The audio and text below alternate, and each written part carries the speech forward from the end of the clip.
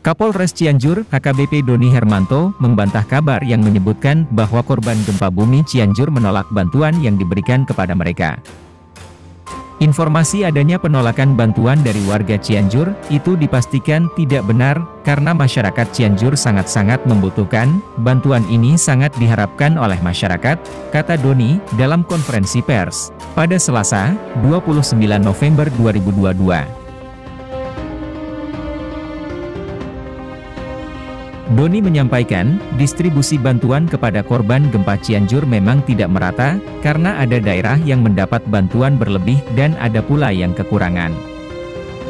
Oleh karena itu, ia meluruskan, bahwa hal yang terjadi bukanlah menolak bantuan, melainkan mengumpulkan kembali bantuan yang berlebih untuk didistribusikan ke lokasi lainnya. Ia pun menyarankan, agar distribusi bantuan dilakukan secara terpusat, melalui titik distribusi yang disiapkan Polri, TNI, maupun pemerintah daerah.